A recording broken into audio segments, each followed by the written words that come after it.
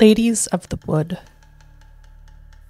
Information found in the home of Hendrik, the Nilfgaardian agent, indicated Ciri had entered into conflict with some witch in Velen.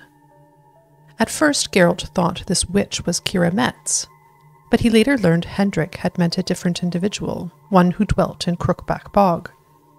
So the Witcher ventured into the swamps, determined to find this bog dwelling witch and ask her about Ciri. Hendrik had known but a portion of the truth, and his notes had led Geralt astray. Ciri had in truth come into conflict with the three crones of Crookback Bog. They had wanted to hand her over to one of the generals of the Wild Hunt named Imlerith, but Ciri escaped their clutches and fled the swamps before their vile plan could come to fruition.